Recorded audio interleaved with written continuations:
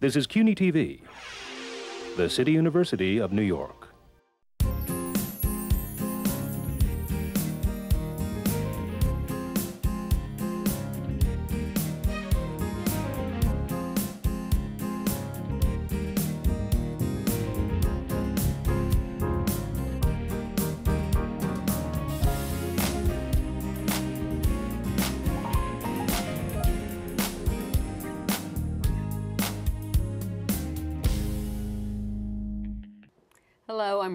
Eldridge. Welcome to Eldridge and Company. My guest has written a book about his life. It's a great tale that goes from theater box offices to the castle stage on Riverside Drive, from the razzle dazzle of Broadway to the clanging of prison doors. But mostly it's about a caring human being who saw something wrong and did something about it. The book is titled Fortune in My Eyes, a memoir of Broadway glamour, social justice, and political passion and the author is David Rothenberg. He's my guest today. Welcome. Thank you, Ronnie. Isn't there a similarity between the theater and our criminal justice system? Well, they're both dramatic. Right. That's what's similar. Really about dramatic, right? Yes. Actually, when I left, when, when the Fortune Society started, and it was avocational for me, I found it more dramatic than most of the plays I was working on. Yeah. So maybe I have, was attracted to the drama of it. I, you and I cover the same eras, essentially. Same century. Century. That's better than that. But I'm older than you, so I'll make that disclosure. Uh, how did you grew up in, in New Jersey? Yeah. In a middle class Jewish family? Yes. Socially conscious? Not particularly. uh, Not, not unconscious, but not active. Yeah. I think my family had good values. I always remember that there was somebody visiting once and somebody used the N word, and my mother slammed the fork down and said, Not in this house. That's not acceptable. So I, there, there was a, a social awareness, but they would, you know, we were post Depression, uh, actually started in the Depression, and, and most of the time was trying to get by for the family. Mm-hmm. So they were not active in, in social causes or political causes, but, but what I heard was of, of you know, FDR. They, Yeah. that's what, That was our. that was our- it. That I- was our frame of reference. Absolutely. My family was that way too, although they joined things and they were, you know, pretty active. But I'm always interested in how people, why some people have this energy and passion and why other people don't. You know, I always Have you ever thought of that? Always. And Yeah. I've always thought that Jackie Robinson was my first political hero. I, w- I was a big sports fan as a kid, but I didn't like the Dodgers. I was a giant fan. But when Jackie came on the scene in 47, I was 13.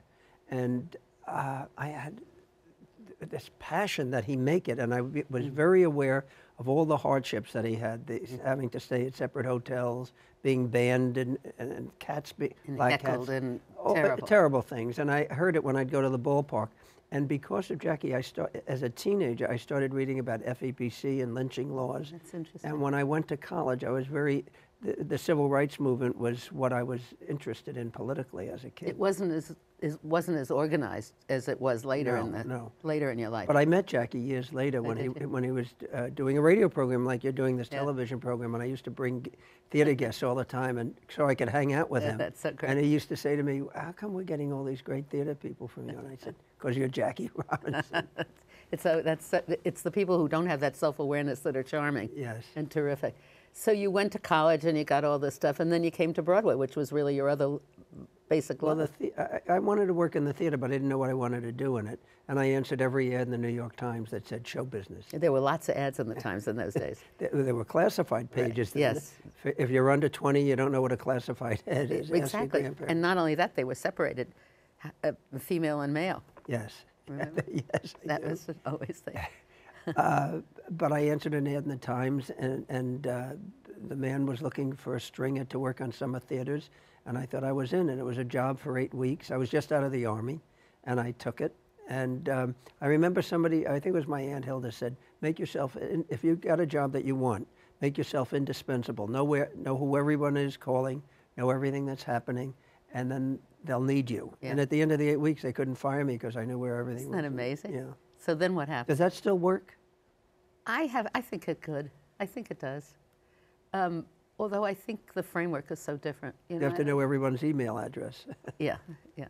I, it's a whole different world. You have to know It where to find something Well, on in, the internet. in that world at that time, it worked for me. And I guess a bright young kid these days would find what works in that world. Yeah, I think it's similar. But then you stayed, and you really, you did, uh, and you even went, I mean, you, I remember, you know, everybody talks about the fact that you were Liz Taylor's, Elizabeth Taylor's Date. escort. I date. I, I, uh, it was a date. She, she said will you, because we met early, we met at the, at the, uh, before we went into rehearsal. I went into Toronto. That, you know, that was a, the big, big scandal back in the early 60s. Richard and Elizabeth were both married to other people. They were doing Cleopatra in Rome. And at that point, Alex said to me, we're doing Hamlet. Alex Cohen, the producer, said, we're doing Hamlet with Richard Burton. You're going to handle the press. And that was like Angelina and Brad, only with talent. Let me just ask you one more question.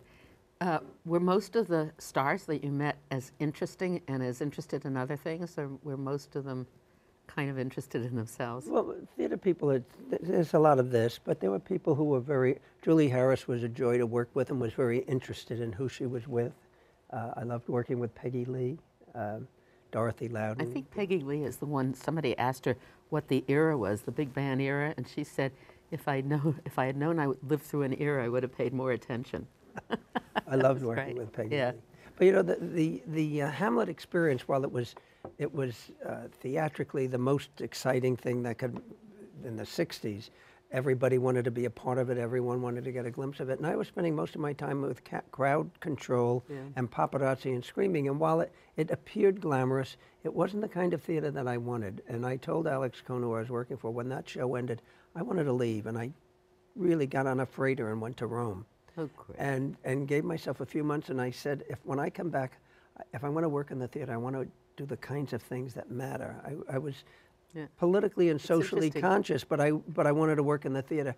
And the first thing I- opened an office and I produced in 66 produced the first anti-war uh, play Viet Rock and that and then I read the script for Fortune in Men's Eyes which was a play written by a man who had been in prison uh, based on his own well I, when I read it I knew mm-hmm. it had to be autobiographical. Mm. It's about a kid getting raped mm. on his first night in prison. And when I met John Herbert and it indeed was his story. And it just rocked me you know we had seen prison movies they were escaping or, or uh, rioting James Cagney. That's what I always remember. I remember Burt Lancaster throwing Hume Cronyn off in brute force. But this was a play that was very different. It was about, and when I read it, I thought it was about how the system destroys a kid who's ostensibly innocent, may have committed a crime. And, and when I met John, that was his story. As a 16 year old, he went to jail for six months. And I met him when he was 38. And he said he always was on the fringe of the outcasts of society because of that six month experience, his, his anger and also the record. And um, it, it, it, it opened my eyes a little bit. But I wanted to get the play on. When the play was uh, in rehearsal, the actors wanted to go to a jail, see what it was like, so they could validate their experience. And that was my first visit to Rikers Island back in 66 um, the winter of 66. And when I went to Rikers, it was traumatic because I, I remember saying to a reporter who asked what it was like for theater people, and I said, This is an exercise in futility. If these kids that I see being herded around are there because they've broken the law or done something, how are they going to be any better as a result of this experience? And I've never changed my mind. I've been in prisons all over the country, all over the world jails, prisons, uh, county p- places, uh, uh, southern farm uh, uh, monstrosities, Oh, the chain gang. the chain kind of. gangs, all of those. None of it doesn't work. It's a conceptual misfiring. is one of the stupidest ways of designing public policy. We worry about kids growing up. I mean- I mean, we know the kids grow up and this is where they land, and they spend it's they're not human beings when they're in prison. No, they're not. And the whole idea of of why you put somebody in prison to, I mean, few people you want to really keep out of society, but most people you have the hopes of them learning something and teaching and developing to get at, and they don't. So we spend all the money on the prison industrial complex, and we don't send kids to preschool and you know, You know, early childhood education. And what do we Ronnie, in New? York City, we know that, that, that uh, about 75% of the kids in New York that end up in prison come from six communities. If the money was put into those communities for- exactly, for yeah. youth centers, for education, we, we would save so much money. But when, when, when, uh, when I did the play, It was after one, a teacher came and said he was bringing 20 That's students. very dramatic Could we part have- of your book. Yeah, could we have a, uh, a discussion with the audience? And I thought, well, this is right up my alley. The- Myself and a couple of the actors came out on stage and invited the whole audience to stay. Do you want me to tell the story that's in the Yes, book? this is a great story. And, and uh, all of the audience members were complimentary. The play was tough. It was a good play, and and it had a good run. And uh, some they were all saying nice things. And some guy in the audience said, "Oh, this play's a lot of junk. I don't buy it." And from the back of the house, a man stands up and said, "Well, if my 20 years counts for anything, you people couldn't watch what happens to us." And we were stunned. This was a real ex-con, right? So the, we invited the man down. His name was Pat McGarry. And for an hour, he really mesmerized the audience. He had been in a Florida chain gang. He had been in Clinton. He had been on Rikers Island. He had been in San Quentin. He had made the rounds. And he told, and I said, "Uh, Pat, you got to come back next week and do this because um, people, this is 60, uh, this was by then uh, the spring of 67. I said, the public doesn't know about these sort of things. I don't know about it. And he said, well, I did white time. You got to get a black guy because there's black time. And I said, you mean even in New York? It's, he said, it's totally segregated. And I said, well, I don't know anybody. He said, I know some guy. And he came back the following week with a man named Clarence Cooper who had done time in Milan, Michigan. And whereas Pat was outrageous and flamboyant and gregarious, uh, Clarence was intense and angry and dramatic. And they were, it was central casting because the two were so brilliant. And uh, we started this weekly dialogue.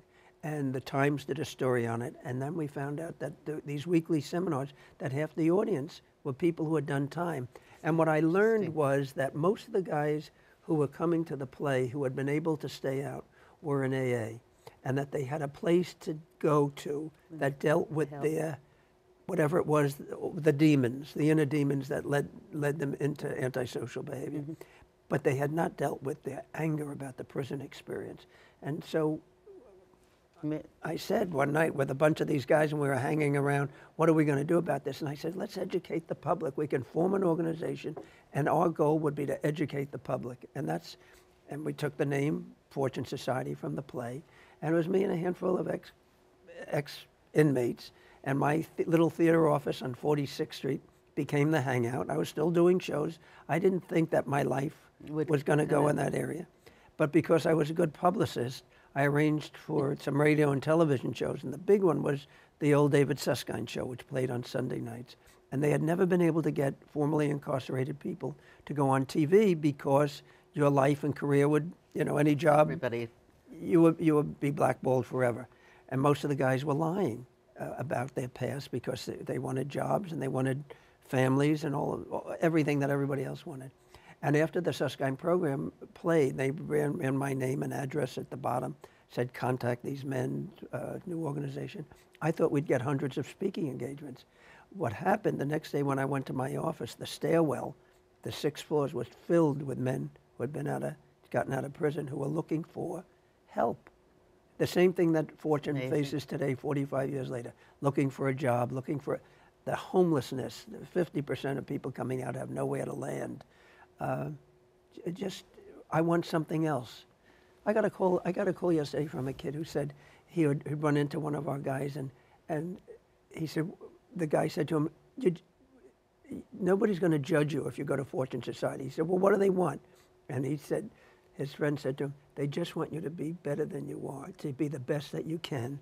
And so, yeah. and he said, so he, he get, this guy gave him my home number, and this guy kid called me. He's 25, and he said, I just want to be better than I've been. What do I do? And so I'm going to meet him, and he's going to come to Fortune. So, I, you know, I worked a lot at Bedford Hills and with the women. I know. And um, I, re- I remember, first of all, I was newly married and I had all these stepchildren, and the phone bill would come and it was enormous. And I could think, what is all this phone bill from? It was all people calling me from Bedford, so we took care of that. But then this one young woman came in the winter. She had been released. She had a bag with her clothes in it. She was given $40. She was wearing open toed shoes in the snow. $40 and a bologna sandwich. It was unbelievable to me. It's absurd. And it's just And no IDs. And, and to get started out here, Yeah, you they don't use that time inside to, when somebody's coming out, get all the paperwork done so when they come out that they can Right. have an ID. and instead they come out homeless, as you said, and also especially with the women, I think, or the younger people, they go back to the neighborhoods, which Well, all caused all the problems they to begin with. So, so it's a, such a dehumanizing thing. But why do you think we haven't been able to humanize our approach to Well, criminal the, the justice? prison industrial complex has become, such a big investment. Yeah. And if you watch television tonight, you just surface, there are more crime shows. Mm-hmm. Uh, there's more crime committed on television any night of the week than there is on the streets of New York. Uh, crime sells. And I- it's I- bad from the minute they make an arrest, Yes. right? And, the, and, Yeah. and uh, years ago, somebody came to me and they, they actually wanted to do a television series based on a theater guy working with formerly incarcerated people. It went as far as NBC giving Fortune some seed money and uh, had a pilot script. A, a very good playwright named Peter Parnell wrote the script, and then they, I got a call saying it's not. Nobody will sponsor a show like this. It's about the struggle that people have coming out of prison trying to make it. They much. It's much easier to get sponsors for a show about people committing crimes. Right. That's what they want. The guns come out and they're shooting. At Fortune, that's not what's happening. And you know, the most exciting thing is after I retired was JoAnne Page, who succeeded me, knew, we always knew housing was the great issue. Creating the castle, Oh, the residents about up the castle. It, it is, it, it's 62 people. It's cheaper to keep someone in the castle than it is a shelter in New York. And yet you watch people come to the fact that there's something else. As, as one of the guys said, I always knew there was something else. I just didn't know where to find it. And, it, and it's very hopeful because we've created an environment that says, it, we don't care what you've done in the past. What do you want to do now? And, and the only, the only uh, criterion at the castle is no violence or the threat of violence. That's, that's it. If somebody relapses, and, and you know, you get people who've had 25 years of drugs, uh, if you relapse, we'll find you a, uh, a rehab for 30, 60 days, and if you're ready to try it again, come back. But it's, uh, That's, oh, that's always the, a sticking point because you expect so much and you have to understand that when there's a relapse, it's not a rejection, it's just an It's, inability. it's right? very tough, you know, if somebody's done 30 or 40 years, and when you hear the stories of childhoods that have been They've all been abused, haven't they? ab- abused, uh, being raised by the state, um, people who don't know their, who their fathers are. I go to this castle every Thursday night. It's the this residents sit with the executive team, and I'm I'm a an enthused observer because I watch people coming to terms. And one night, uh, a few weeks ago, a guy said, "I'm going to need some help. I haven't seen my father in 15 years. We had no relationship, but I want to try. I may need some support after the fact." And then around the room, everybody started talking about what they've gone through with their parents. And one guy threw his hands down and he said, I wish I had that problem. I walked down the street and I wondered, could that man be my father? And he started to cry. This is a big guy, done a lot of time, a lot of, you know, real streetwise guy. And he, ne- and he started to run out of the room. And we grabbed him and said, you got to stay. This is why you have to stay. You have to get that out. And he poured out these feelings about n- never knowing who his father was, and, and his mother never wanted him.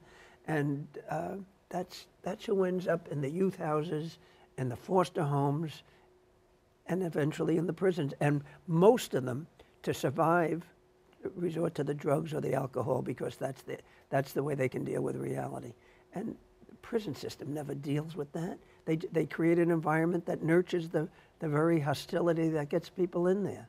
It's, do you, uh, have, has anybody ever done a study, I don't think they have, of how many of the people in prison have learning disabilities? Oh, the, They all have to have them it- it- almost, well, right? I, I would say 50% are more. functionally literate, yeah, More. at least. Yeah, we did a we did a uh, you know a poll, sent a questionnaire out to the inmates at um, Bedford Hills years ago. How many about their experience with violence in the family, and it was something like 70 or 80 percent of the of the women had been either sexually abused by a family member or by um, their partner. You know, you know what the th- sad thing, before you get, get into that deeply, when they tell you that they were bad, they say, I was a bad kid, and they justify the parent hitting them. I mean, I, Right. Uh, what- They also said with the domestic violence that that's how they saw their mother and father. That was how their mother and father That's what, that's what interacted. they So thought. that's all part you of. You know, on Stop and Frisk, which is uh, Mm-hmm. not unrelated. Recently, I was at uh, Baruch College, and I asked the kids what they thought of uh, Stop and Frisk, and only ten of the kids knew what I- I was talking about. And of course, they were all the black kids, and I said to this one young black man, explain what stop and frisk is. So he did, and I asked him what his experience was, and he said he was stopped by a cop and thrown down, and they stood on his back, and um, they were looking for a black kid in a red shirt who was 6'4", and this kid was 5'7", and looked 12. And I said to him afterwards, that's terrible. Have you done anything about it? And he said, oh, it's, it's not terrible. Don't worry about it. It happens to all my friends.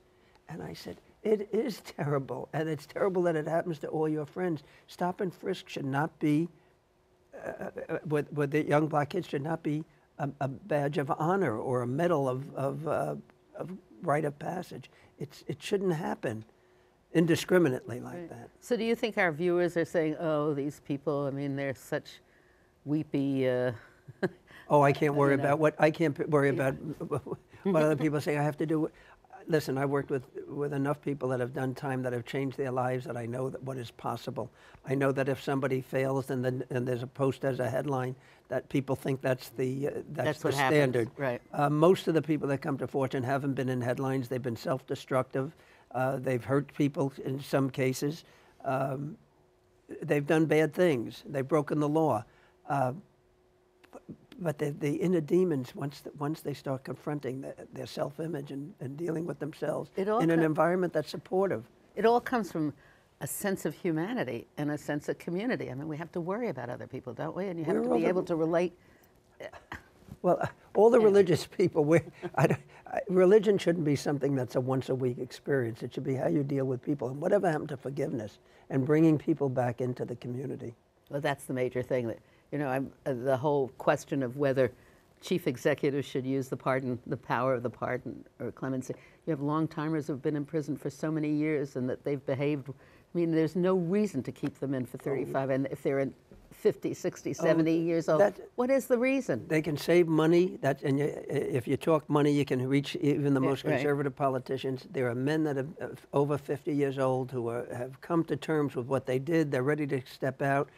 We could release uh, a couple of thousand right now in New York State, and it would make it wouldn't affect. The only problem would be is there is nothing for them to come back to, and we, the money that we're saving, we should places like the castle should be created, not run by correction, not run by parole, but by concern, not, pri- not private, uh, it has to be nonprofit. Yeah. Do you have connections to different businesses and industries? Well, we have a, a- have, do you have your own business or no, industry? No, no, no. but a lot of, uh, we have a staff, a Fortune has a staff of 150, and uh, about 60% of the people have done time. A lot of the, you know, when, when guy- somebody comes to Fortune, and I remember one, I was asking one kid about uh, the fashion of low, you know, Yeah, the pants dropping, and he said, I didn't come here for a fashion discussion. I said, I'm, I said, I'm not making a judgment. I said, but what you have to do is realize when you come to a place like Fortune or any place that you go, you're applying for a job in some way because people like to see what your attitude is, what your talents are, and they, if they don't have a job, they could recommend you. And I said, and that's what happens at Fortune Society. A lot of people that come there who are trying, who want something else, you can go to bat for them and send them for interviews or hire them right in the house. Right. It's incredible. So I don't want everybody to think the book is only about that, but it was the thing that astonished, you know, that just compelled me. There is something so compelling. And every time I go into a prison, I think, there, for but the grace of God oh. goes I. Yeah. Uh, because it's sometimes so easy. It's an incredible kind of experience. But let's talk about other things in the book. Show business? More show business? Show business. What? I don't know. It's, you, well, you did another play. Let's talk about that. The castle. The castle. Yeah. Well, uh, after I retired and the, and the Fortune Academy uh, began, the Fortune Academy, the residents call the castle. It's that great building old- yeah. on 140th Street. It had been a Catholic girls' school, and it looks like a castle, so the guys call it a castle. And at the Thursday night meetings, as I mentioned, they sit around and talk about how their lives are going and how the pro, how the house is working. And I would get theater tickets because of my theater connection. This one friend of mine, uh, Hamza Hakim, who loved going to the theater, we would go and I'll, if I just tell one story, we went to a, the second stage once, and he said, "Oh, this used to be a bank." And I said, "How could you tell walking in?" He said, "I used to rob banks." And we would have a lot of laughs. And uh, he wasn't robbing banks then; he was very determined to have something else. And he and I said to him, "You know, your life and the lives of these other guys are better theater than the, the theater I'm seeing a, a lot of the times. And so we started talking about creating a, a play using um, Eve Ensler's Vagina Monologues as a as we we we steal positively now. Four stools and four people sharing their lives. And uh, Hamza was all for it and then died of a massive heart attack at the age of 43 after, which All broke my years, heart. yeah. Uh, but his best friend at the castle was a guy named Casimiro Torres, and, and a few months later he said uh, he had talked to Hamza about what we had talked about, and uh, so he and I started talking about doing a play, and we, we thought who would be other people who had different experiences uh, and whose stories are dramatic, and three men and a woman. It's co-ed, by the Mm-hmm. way, at the castle. Uh, so the f- Hurry up because we're coming to the end. I'm sorry. we So got well, terrible. we got four people, and we Yeah. and, and we worked on this play, and we thought we were going to do it for a couple of weekends. And a producer saw it, and Eric Krebs, and he moved it off Broadway. It ran for a year, and now you can't. We have two companies, and you can't kill it with a stick. We're playing. Right. We go to prisons, colleges, community groups, and And if people wanted to book it or something, they just go to the website and they can find out all, all the the Fortune. Society and Holla for me. What's the website? Fortune Society uh, Dot org. Dot org. Yeah. Yeah. Well, David, I'm sorry that we've come to the end. We need more, much more time, so we'll have to come back. Well, You'll have to come back and we'll What was this? more. Ten minutes. No, it was 30 minutes. Was? Thank you, David Rothenberg. And read his book. You really, um, you'll learn so much and you'll be touched by it. Thank you.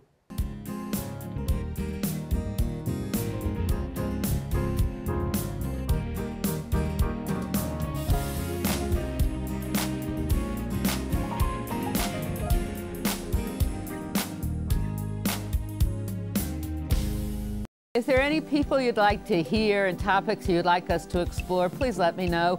You can write to me at CUNY TV, 365 Fifth Avenue, New York, New York, 10016, or you can go to the website at cuny.tv and click on Contact Us. I look forward to hearing from you.